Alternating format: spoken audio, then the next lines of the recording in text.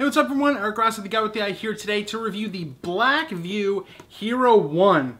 Now, what does this look like? Once again, this is not a GoPro. This is a kind of another clone of a GoPro, but it's another action camera that Banggood sent out to me that I'm going to review today, the Blackview Hero 1. What do I think? How does it compare to anything else?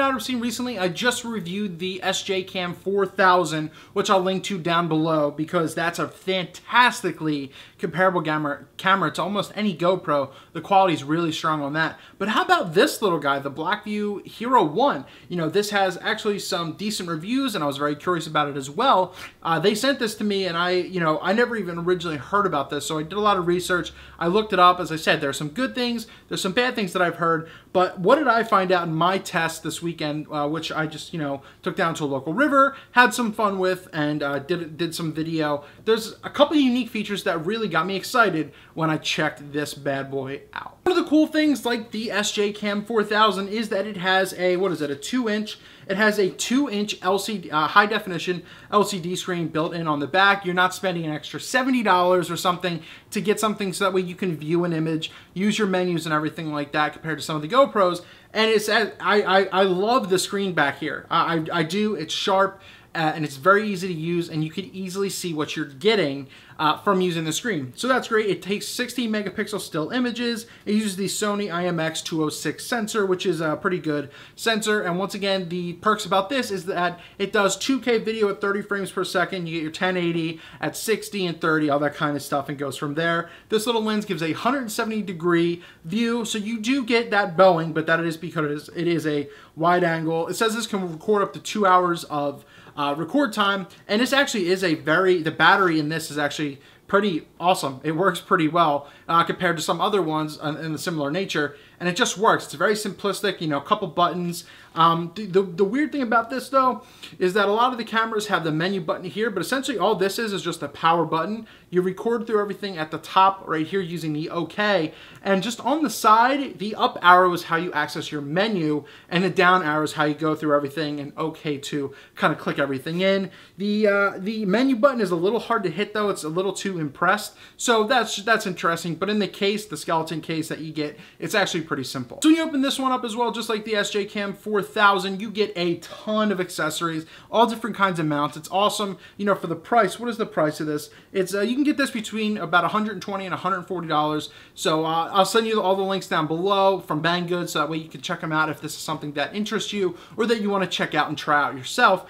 And once again, this does have an app, and you do need, if you're in the US, you do need a, uh, a charger because uh, essentially what they send you is the uh, EU, the Europe one, and you need to obviously convert it to what we normally use our two-prong ones down in the uh, US.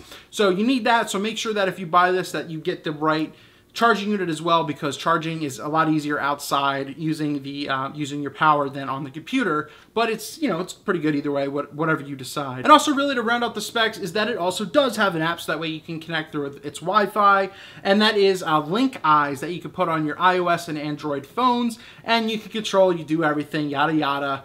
You can you can control everything through your phone as well. And I did find that that app is actually pretty easy to use compared to some others that I've touched base upon. So this review might not be that much more past the specs because I did take this out, you know, I did some extreme, I did I did some kind of fun things with it, some time lapses. I shot it at its 2K at 30 frames, I did the slow-mo, I shot it at 60 frames at 1080p and 30 frames, and I just, I, the, the angle of view, I know it was wide, it just looked a little too fisheye to me, even though it wasn't necessarily fisheye. It just seemed it bowed a little too much even compared to anything else. So I'm not necessarily, I was not a fan of that 100%. The quality also wasn't that great. It, its dynamic range didn't hold that well, unfortunately.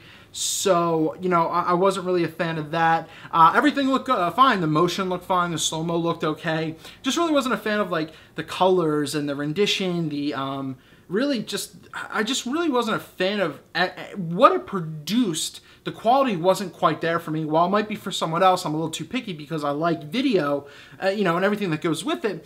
But I just feel that the, the Blackview Hero 1 just really wasn't up to par. And I, and I had high hopes for this thing because I really, really love the Wi-Fi, the, the capability, the app that I can control from the phone and the uh, the two inch screen on the back because the two inch screen is phenomenal. Now, if they had that screen on the SJ Cam 4000, uh, that would totally blow my freaking mind. Be that I like that, it's not necessary. You know, that isn't a selling feature, unfortunately. Well, you could see everything. If you want something to beat up for under $150, this is a camera that you can beat up. You know, do something extreme with, and you can get away with it but you know for better quality for something like that i might look for something else but for a beat up mess around third, amber, third angle, angle, weird camera angle or something like that, it can work for you. If anything, check it out. Once again, I'll leave the link down below. Thank you for Banggood for setting that out. But I really recommend looking into the SJ Cam 4000. Uh, check out my review and all the links below down in the description for that because that's a phenomenal camera. But I'm just telling it like it is. You know, you don't have to like everything. There are some features that I did like, but the quality wasn't quite par up for my taste, while it might be for yours.